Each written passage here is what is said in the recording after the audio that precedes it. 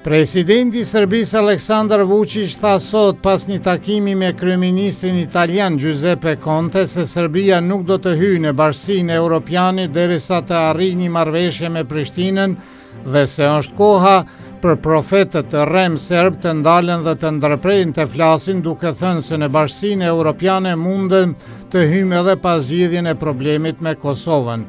Vuçiq theksoi se kryeministri italian mbi çështjen e integrimit europian dhe zgjerimit eventual të Bashkësisë Europiane, solli një frymë të re optimiste për Beogradin. Kryeministri Conte tha se masat e Prishtinës nuk çojnë në asgjë dhe se taksa duhet të hiqet për të lejuar vazhdimin e dialogut me Beogradin. Ai theksoi se reagimi i qeverisë serbe ndaj masave të Prishtinës ishte shumë i mençur. Conte ka thënë se Serbia dhe Italia këtë vit festojnë 140 vjetorin e marrëdhënieve diplomatike si dhe 10 vjetorin e partneritetit strategjik dhe vuri në dukje marrëdhëniet intensive ekonomike.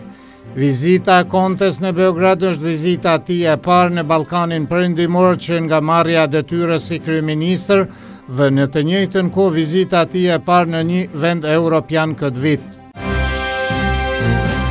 Presidenti Aleksandar Vuçiq tha se shqiptarët në Shtetet e Bashkuara të Amerikës po lobojnë me tre agjenci për shumë miliona dollarë, gjë që nuk është për t'u habitur që investojnë shumë para në këtë. Duke shtuar se edhe kur Serbia ka më shumë para si shtet do t'i kushtojë vëmendje lobimit për interesat e saja. I pyetur për komentin e deklaratës së ministrit britanik për çështjet europiane, Alan Duncan, se Hashim Thaçi kishte shpenzuar shumë para për të lobuar për ndryshimin e kufirit, Vuçiq tha se kur një politikan britanik i ka takuar kohën e fundit në Mynih, ai këtë nuk e përmendi atij.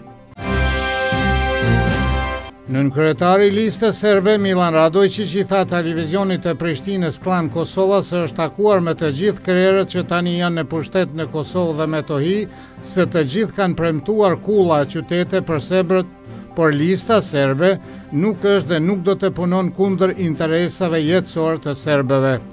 Klan Kosova ka shpallur në sajtin intervistën e Radojçiçit duke deklaruar se komentet e tij pasuan pas aktakuzës të ndërsjella nga presidenti i Kosovës, Hashim Thaçi dhe kryeministri Ramush Haradinaj në lidhje me takimet me përfaqësuesit e serbëve të Kosovës.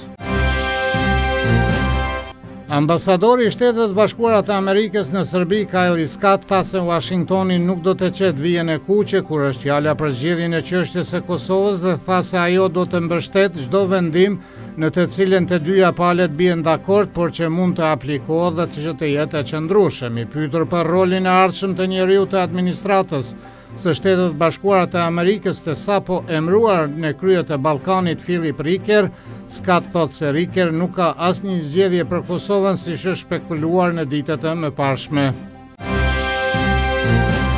Kryeministri i Kosovës Ramush Haradinaj njoftoi se në takimin e kryeministrave të vendit të Ballkanit Perëndimor që do të mbahet në Prishtinë në fillim të prillit, ku do të ftohet edhe kryeministrja serbe Ana Brnabiq, ka përcjellë Koha e Prishtinës. Në sesionin e djeshëm të qeverisë ai ka kërkuar anëtarëve të kabinetit të miratojnë nismën për të sjellë së bashku të gjithë udhëheqësit rajonal si dhe komisionerin europian Johannes Hahn. Haradinaj tha se dëshiron të sjellë ata në Prishtinë për të diskutuar tema që janë të rëndësishme për integrimin e mëtejshëm të Kosovës brenda Ballkanit Perëndimor.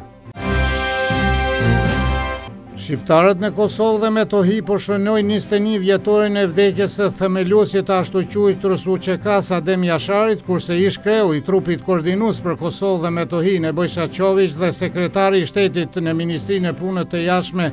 Velko Odalloviq tha se kjo është një përpjekje për të marrë një fshat kapadai që ka grabitur dhe vrarë shqiptarët dhe serbët të bëjnë një figurë mite dhe heroike, Çoviq ka shtuar se Jashari në vitin një mijë e nëntëqind e nëntëdhjetë e një pas një konflikti me policinë, ka ikur në Shqipëri ku atë e kanë trajnuar gjeneralët e pensionuar nga Shtetet e Bashkuara të Amerikës. Pastaj, ai formoi UÇK-në dhe disa herë ka kaluar në mënyrë të paligjshme nga Shqipëria në Kosovë, derisa policia serbe e ka likuiduar në mars të vitit një mijë e nëntëqind e nëntëdhjetë e tetë në operacionin antiterrorist. Policia për atë se ku gjindet Jashari ka marrë nga shqiptarët e fshatit e Prekazit të Ulët, të cilët ai gjithashtu ka maltretuar. Çoviq dhe Odalloviq kujtojnë se Jashari nuk ka dashur të dorëzohet edhe pse policia ka thirrat disa herë në shtëpinë e vet ka shëndrruar në një fortesë të UÇK-së dhe se ai ka vra një vlla i cili donte të dorëzohej. Policia e Kosovës tha se në fshatin Maticë pranë Zveçanit është gjet një automjet i braktisur të dyshuar se i përkiste një personi me kombësi serbe, zhdukja të cilit u raportuar disa ditë më parë. Sipas raportit të policisë, forenzika zbuloi se në njërën nga dritaret e automjetit ka një vrimë të dyshuar për gjuajtjen nga një plumb me armë zjarri. Gjithashtu në vendin e automjetit u vunë re njolla të gjakut. Mediat raportojnë se është fjala për taksistin e zhdukur nga pjesa veriore e Mitrovicës së Kosovës. Sekretari i përgjithshëm i Interpolit ka informuar se ka marrë aplikimin e ri të anëtarësimit të Kosovës në këtë organizatë. Sipas botës sot të Prishtinës, Një zyrtar i lartë nga kjo organizatë, Asambleja e Përgjithshme e cila do të mbahet në tetor në Kili, por rendi i ditës ende nuk dihet, siç tha ai kërkesa u dërgua me tridhjetë e një janar. Ministri i Jashtëm i Kosovës, Behgjet Pacolli tha se është optimist për kërkesën e re.